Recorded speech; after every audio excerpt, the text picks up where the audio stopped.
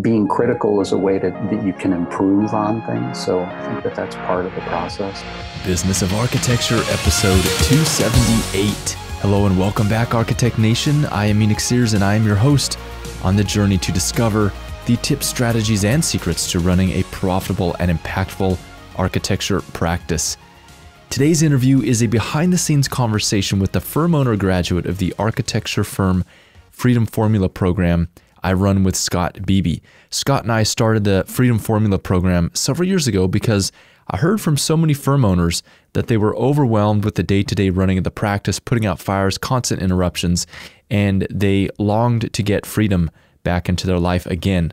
So, in the program, Scott and I work with firm owners to implement systems and frameworks so they can free up their time and lay the foundation for an impactful and profitable practice. In this candid conversation, I speak with Jefferson Schierbeek, an architect who's run a successful practice in Southern California with his partner Susan Addison for over 25 years. He's no newcomer to business either. In the past, he founded and ran a successful CAD outsourcing service with a partner, a business which still exists to this day. In this episode, we have a conversation about why Jefferson joined the program and what he wanted to get out of it. We talk about the steps he is taking to get his firm to the next level. I think you'll find my conversation here with Jefferson extremely valuable as you work to build your ideal practice. In today's episode, you'll discover how to set a vision that inspires you to set and actually meet your goals.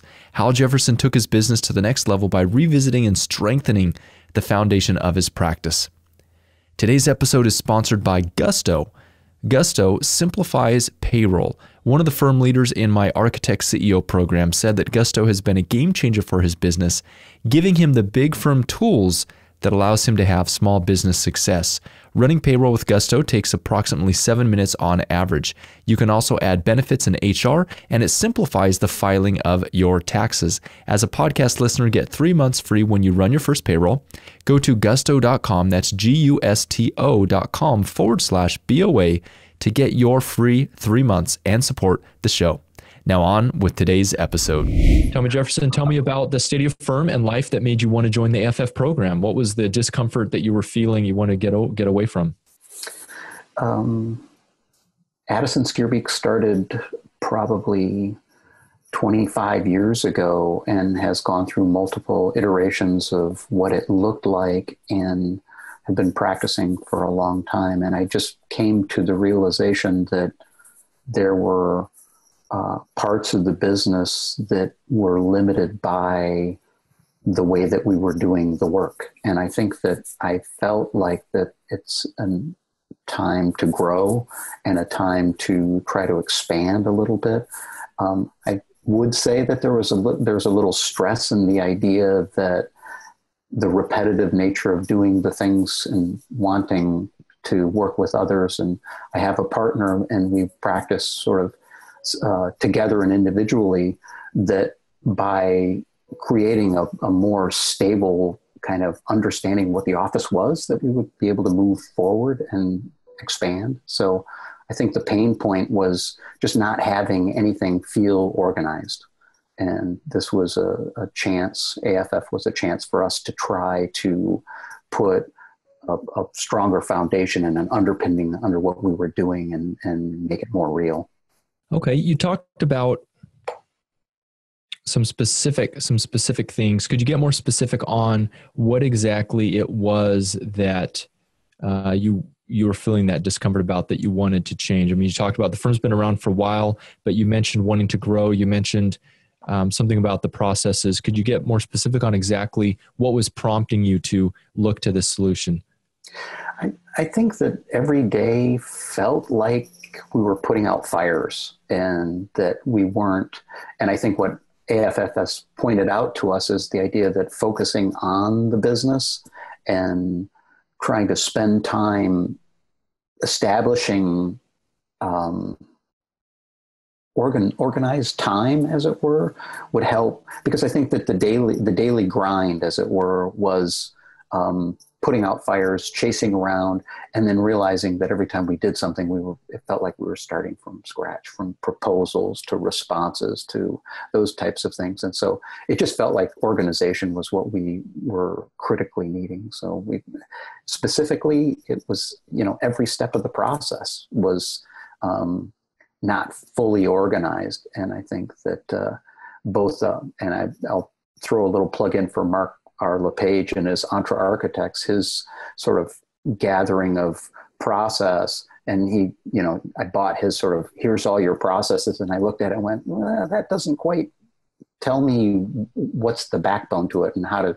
And so I felt like AFF was actually offering, uh, digging a little deeper than just trying to overlay somebody else's processes on, on our firm. So that's, I think that's what intri- sort of intrigued me about it going here.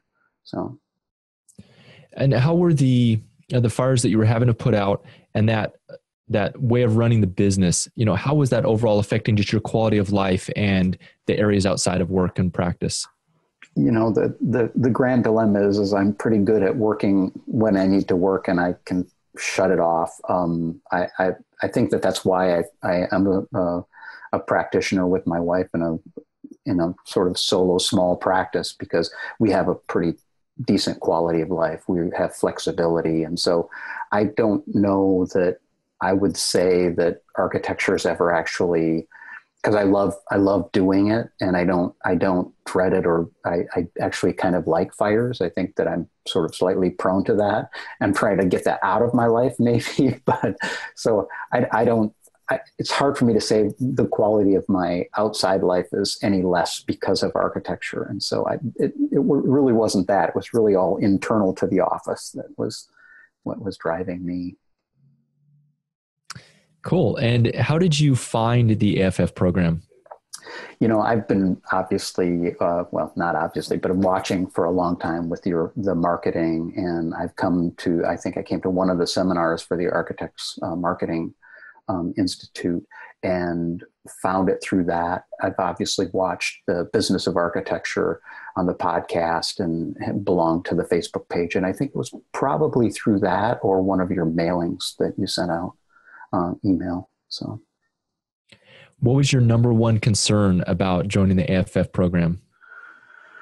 Number one concern, you know, I'm uh, uh, probably more uh, worried about money than I probably should be. And I think my biggest concern is always how much does something cost? And it, you mentioned even today on the call the idea of what's the return on investment in in the money that you're spending, and I have a I have a challenge in my own sort of internal wiring as to how to um, figure out what that return on investment will be and what appropriate is to spend to do the things that uh, really need to be spent.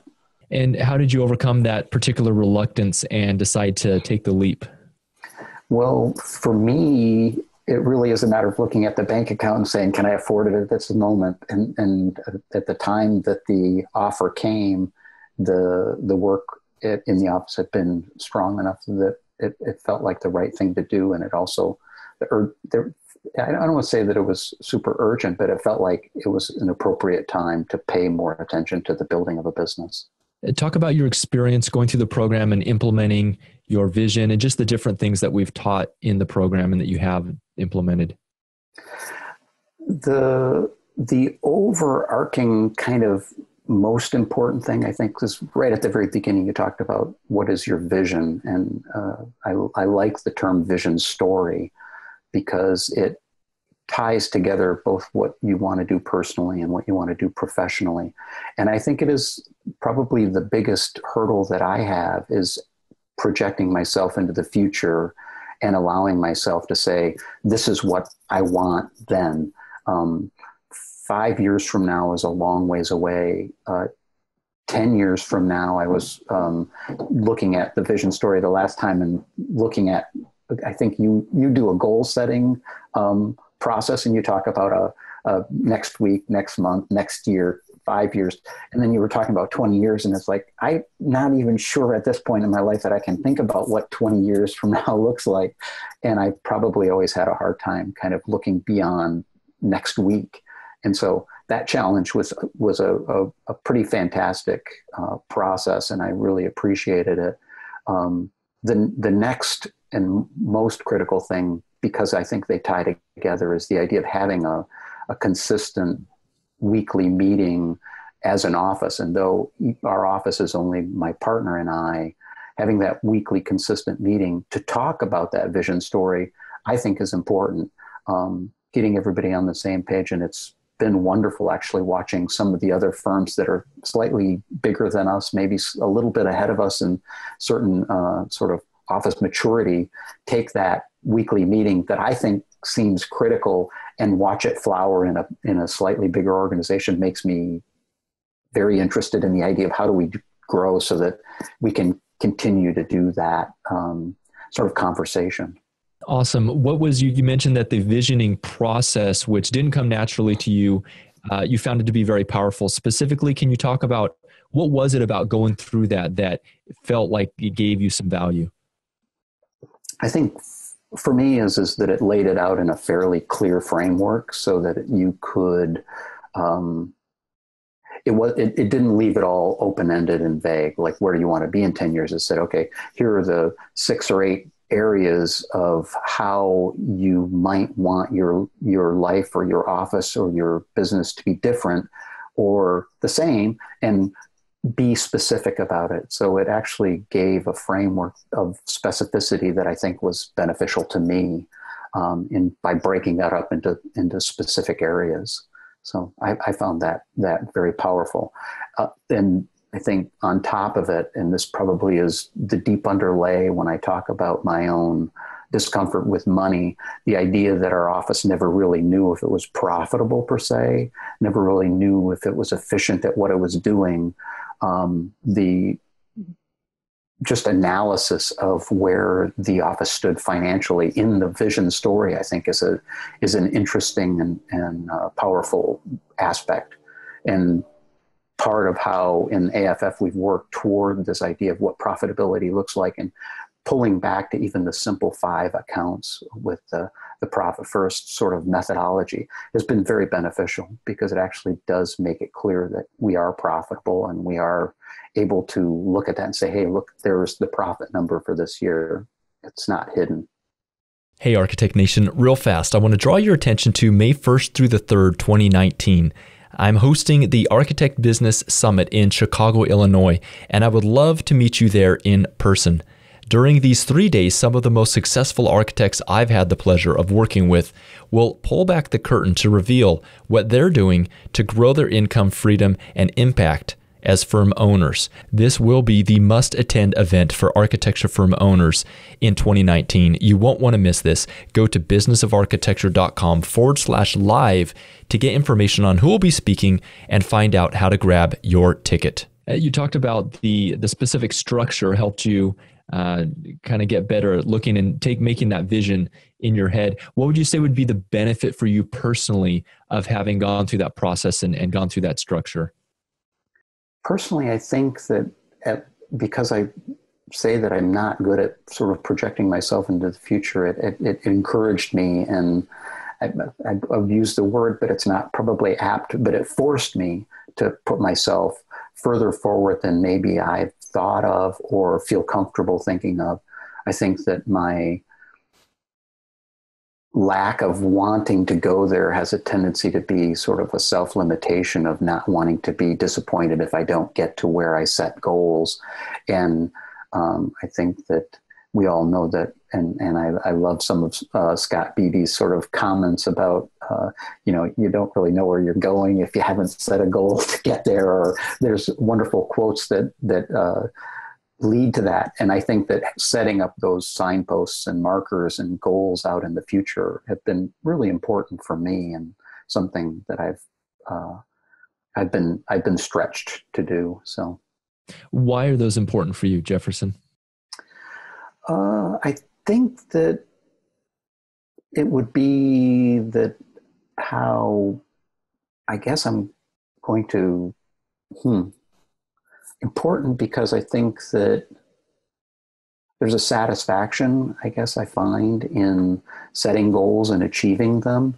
And I think that being stretched to set the goals helps and, and also then being coached and encouraged to achieving them has been a, a pretty rewarding process. So but I think it's it's sort of personal reward and as much as anything. So it sounds like you've been rewarded by the growth that you've experienced from being stretched a little bit.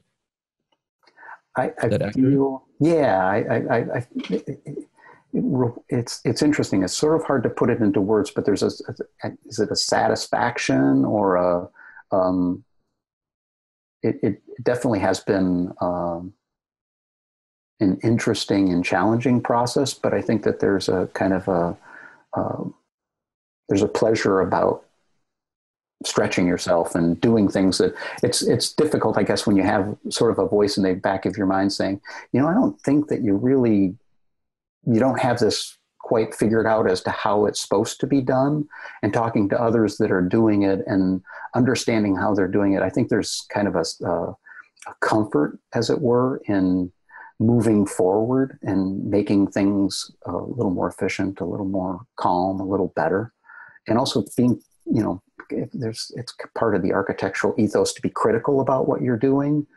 And I think that being critical is a way to, that you can improve on things. So I think that that's part of the process. So you talked about why um, why it's been important to you personally. Why would why has it been important for you from a business standpoint?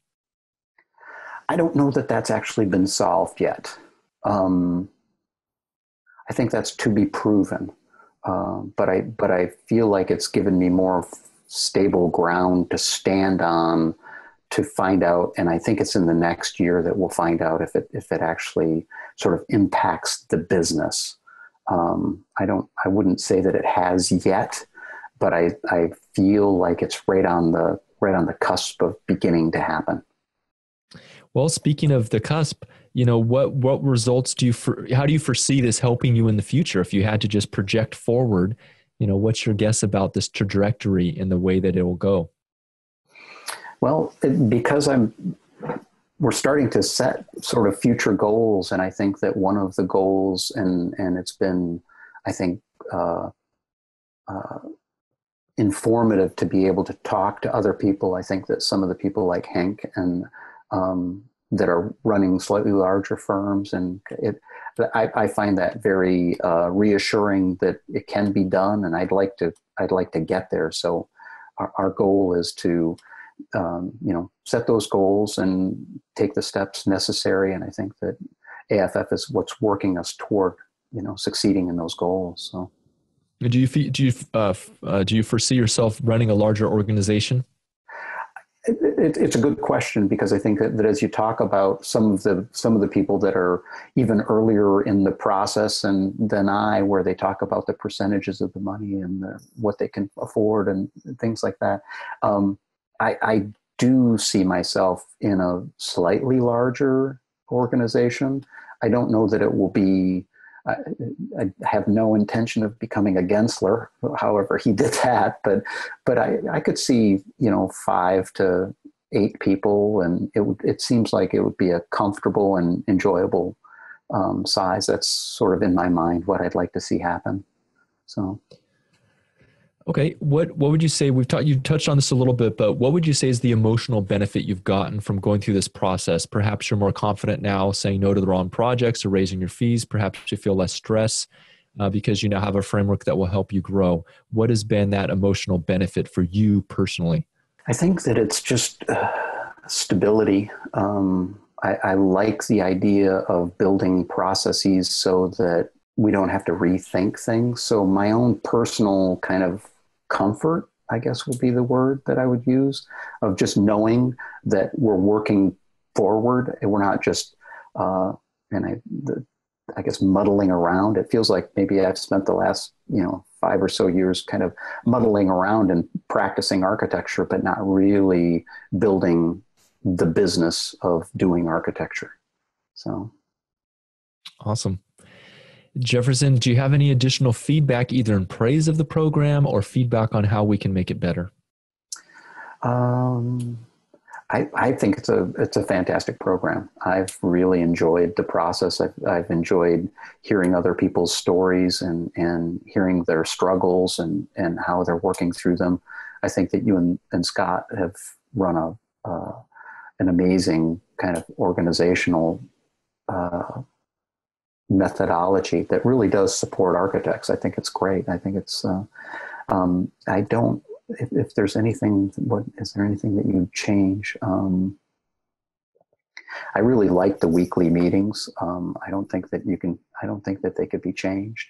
Um, it's interesting having a new group of people kind of come in. Maybe one kind of little uh, side note would be let us know when and why i guess people are adding? Are, are, you is it just based on marketing cycles? Because it seemed like today's call was huge in comparison to others, but and no explanation as to every has have all those people been on the call before? Maybe i missed a call where they all joined. I missed um, our previous call. So there were most of those people on the call were staff members of thorsten and anne oh okay okay and i i also find it kind of uh, uh, who who are the nico uh, yeah Margot and Werner. I mean, they've been on the call for like two times and they're already through AFF1. Let's get on to AFF2. It's like, okay, that's fast. yeah. so yeah, they, they came with a lot of stuff already implemented. Yeah, which is great. Yeah. They actually do some, if you take, check out their work, they do some, both Thorsten and his company too, they do some really, really nice residential work, like very, very cool stuff. Yeah. Stuff that even here in the United States would rival you know great work out there so yeah I, have always i've always envied those i tried it early on in my career to, to teach and practice architecture because mm-hmm. i think it's a really it's a nice way to go about it but it's really tough to keep a job as a white man in in uh, southern california in architecture it's, it's you, you, can do that for about two years and then you get moved on. And yeah, you got about you got about two strikes against you from the, uh, the, the scoring criteria. Yeah. So, it, I mean, but I I love seeing people that use practice and, and architecture as a, a methodology of kind of putting together a life. I think it's a it's a it's great. So I'll look up Thorsten and Ann stuff and. Cool. Did you have anything else in terms of suggestions for improvement? Um, no, no, I'm I'm good. Okay. Awesome. So yeah, in terms of when we add people, so basically, obviously that huge influx was uh, that's one firm, so those weren't new people; they were just staff members. But we do. Um, my goal this year is to do another promotion next month, and um, hopefully, you know, the goal is to get about uh, I think nine, nine to ten new members into the program, and then after that, I'd like to just consistently add two to three a month. Okay. So that's sort of the the roadmap there. Yeah. Um, uh, Jefferson, first of all, thank you for investing in the program. Uh, mm-hmm. That support uh, it means a lot to me, and and Scott as well. I know. So just really thank you, thank you for that. My pleasure.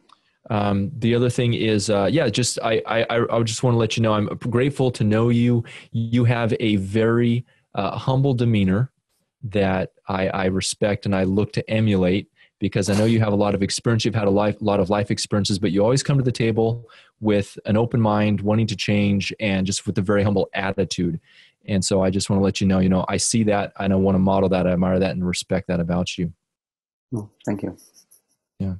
So thanks, thanks Jefferson. That's all today. I don't know if you had anything else you wanted to add to that. If not, we well, can today. I, I, have, I have put in my AFF one um, sort of request to move to AFF two so I don't know what the process is for that. Yeah, so the process is just um, to schedule a call with me.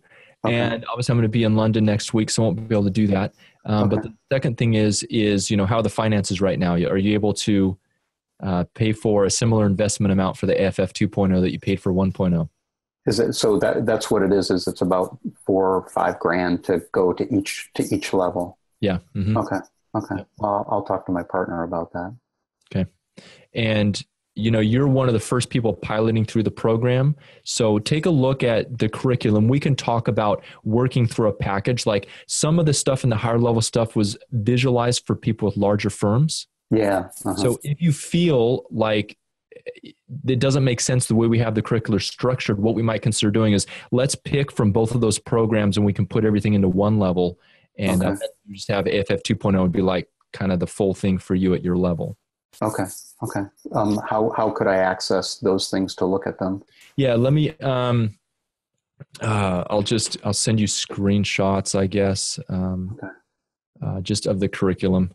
I'll, just, Okay. I'll just send you a note that kind of talks about uh, what the the curriculum is for 2.0 and 3.0. Okay, that'd be great. Okay. Thank you. All right. Thanks, Jefferson. Sure. Talk to you later.